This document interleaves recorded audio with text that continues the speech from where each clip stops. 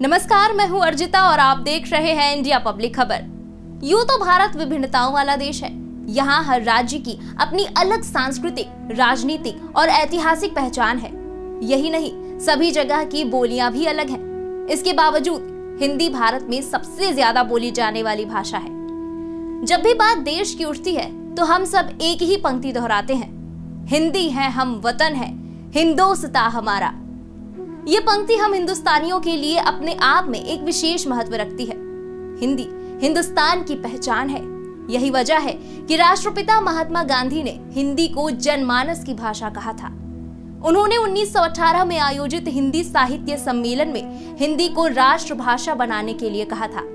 भारत में हर साल 14 सितंबर को हिंदी दिवस के रूप में मनाया जाता है।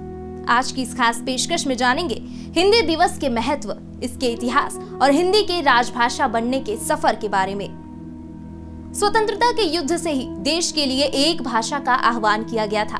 स्वतंत्रता प्राप्ति के बाद भारत सरकार ने देश की मातृभाषा को एक आदर्श रूप देने के लिए एक लक्ष्य निर्धारित किया और लेखन में मानकीकरण लाने के लिए देवनागरी लिपि का उपयोग करते हुए व्याकरण और ऑर्थोग्राफी का लक्ष्य निर्धारित किया। 6 दिसंबर 1946 को आज़ाद भारत का संविधान तैयार करने के लिए संविधान सभा का गठन हुआ। संविधान में विभिन्न नियम कानून के अलावा नए राष्ट्र की आधिकारिक भाषा का मुद्दा भी अहम था, क्योंकि भारत में सैकड़ों भाषाएँ और हज़ारों बोलियाँ थी। काफ़ी विचार विमर्श के बाद 14 सितंबर उन्नीस सौ उनचास को संविधान सभा ने देवनागरी लिपि में लिखी हिंदी को अंग्रेज़ी के साथ राष्ट्र की आधिकारिक भाषा के तौर पर स्वीकार किया। बाद में जवाहरलाल नेहरू सरकार ने इस ऐतिहासिक दिन के महत्व को देखते हुए हर साल 14 सितंबर को हिंदी दिवस के रूप में मनाने का फैसला किया। पहला आधिकारिक हिंदी दिवस 14 सितंबर सन उन्नीस सौ तिरपन को मनाया गया था। लेकिन जब राजभाषा के रूप में हिंदी को चुना गया तो और गैर हिंदी भाषी राज्य, खासकर दक्षिण भारत के लोगों ने इसका विरोध किया, जिसके फलस्वरूप अंग्रेज़ी को भी राजभाषा का दर्जा देना पड़ा। जब अंग्रेज़ी को आधिकारिक भाषा के तौर पर हटाने का वक्त आया तो देश के कुछ हिस्सों में विरोध प्रदर्शन शुरू हो गए। दक्षिण भारतीय राज्यों में हिंसक प्रदर्शन हुए। तमिलनाडु में जनवरी 1965 में भाषा विवाद को लेकर दंगे भड़क उठे। उसके बाद केंद्र सरकार ने संविधान संशोधन करके अंग्रेज़ी को हिंदी के साथ भारत की आधिकारिक भाषा बनाए रखने का प्रस्ताव पारित किया। आधिकारिक भाषा के अलावा भारत के संविधान की आठवीं अनुसूची में 22 भाषाएँ शामिल हैं। हर साल 14 सितंबर से 21 सितंबर तक हिंदी दिवस के अवसर पर राजभाषा सप्ताह या हिंदी सप्ताह मनाया जाता है। इस सप्ताह में विभिन्न प्रतियोगिताओं का आयोजन किया जाता है। इसका मूल उद्देश्य केवल हिंदी दिवस तक इसे सीमित न करके लोगों के बीच हिंदी भाषा के विकास की भावना को बढ़ाना है।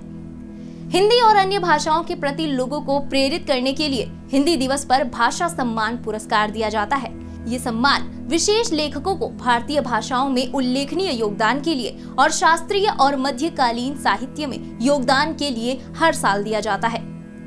तकनीकी और विज्ञान के क्षेत्र में हिंदी भाषा को आगे बढ़ाने के लिए राजभाषा गौरव पुरस्कार और वो संस्था जो हिंदी भाषा में अपने कार्यों को करके अच्छी प्रगति हासिल करती है, उसे राजभाषा कीर्ति पुरस्कार से सम्मानित किया जाता है। विश्व की दूसरी सबसे बड़ी भाषा है हिंदी। चीनी भाषा के बाद ये विश्व में सबसे ज़्यादा बोली जाने वाली भाषा है।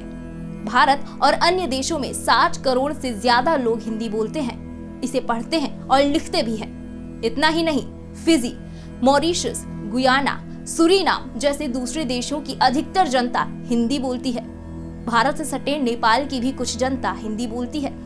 उन्नीस सौ बावन में उपयोग की जाने वाली भाषा के आधार पर ये विश्व में पाँचवें स्थान पर थी। 1980 के आसपास वो चीनी और अंग्रेज़ी के बाद तीसरे स्थान पर आ गई।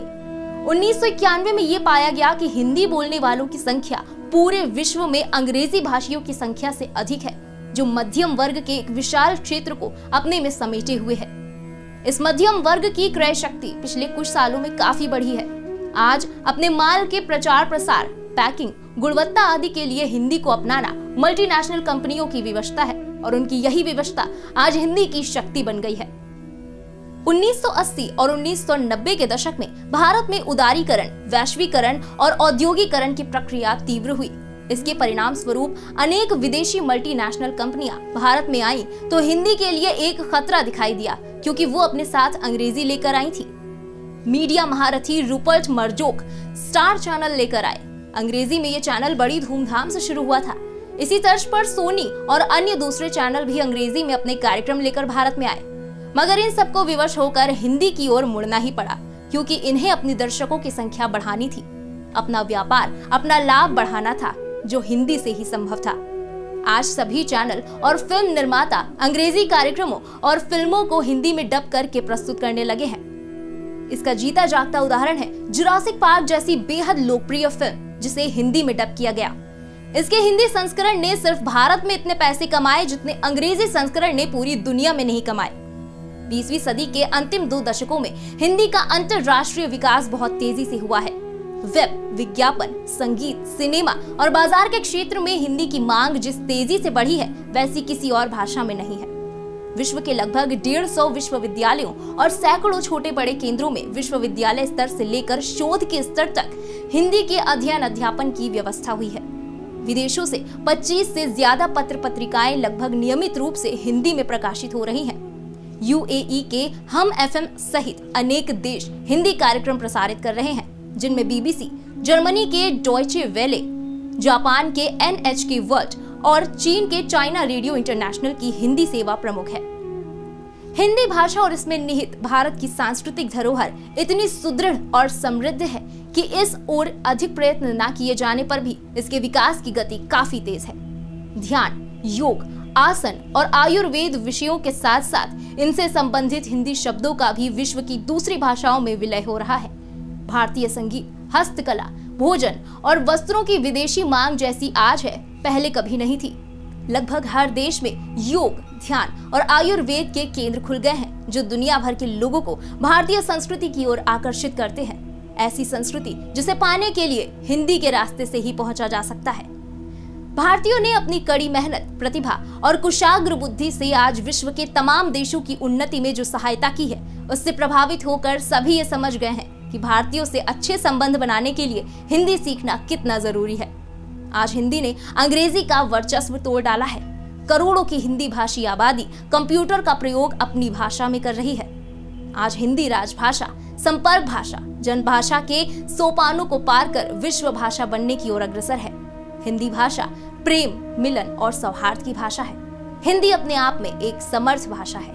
प्रकृति से उदार, ग्रहणशील, सहिष्णु और भारत की राष्ट्रीय चेतना की संवाहिका है हिंदी। ये विश्व की एक प्राचीन, समृद्ध और महान भाषा है। आधुनिक हिंदी साहित्य के पितामह और कालजयी रचनाकार भारतेंदु हरिश्चंद्र ने अपनी कविता निज भाषा में लिखा है। कि निज भाषा उन्नति अहे, सब उन्नति को मूल, बिन निज भाषा ज्ञान के मिटत नहीं को सूल। निज यानी अपनी भाषा से ही उन्नति संभव है, क्योंकि यही सारी उन्नतियों का मूलाधार है। मातृभाषा के ज्ञान के बिना हृदय की पीड़ा का निवारण संभव नहीं है। विभिन्न प्रकार की कलाएँ, असीमित शिक्षा तथा अनेक प्रकार का ज्ञान सभी देशों से ज़रूर लेने चाहिए, मगर उनका प्रचार मातृभाषा के द्वारा ही करना चाहिए।